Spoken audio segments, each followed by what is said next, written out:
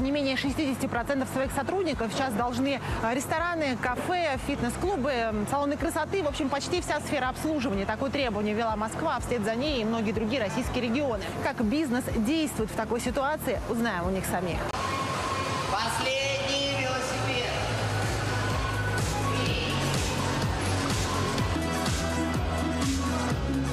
Промо-акции для гостей с прививками продумывает и Александр Кузнецов, директор сети фитнес-центров в Нижнем Новгороде. Введение QR-кодов он опасается. Говорит, что трафик в клубах только недавно восстановился до прежних показателей.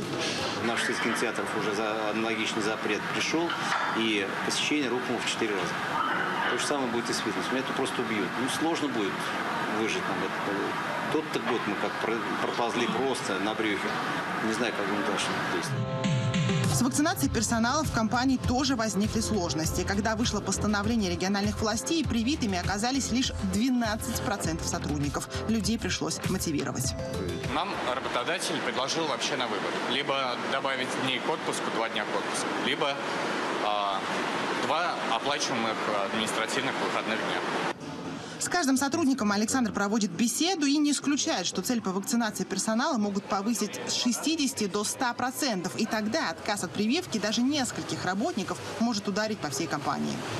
Отстраняем от работы до тех пор, пока не снимут эти требования. Все, нас сотрудники мы долго отбирали, учили, и, конечно, расставаться с ними ну, невозможно. Если мы отстраняем топовых людей от работы, они категорически, которые не будут вакцинироваться, нам нужно искать замену. Это обучение, это время, это провал в работе. Еще не локдаун, но ограничений все больше. Российский бизнес пытается адаптироваться к новым условиям. И пока главная надежда, что всероссийская кампания по вакцинации даст свои плоды и работа вернется в привычное русло.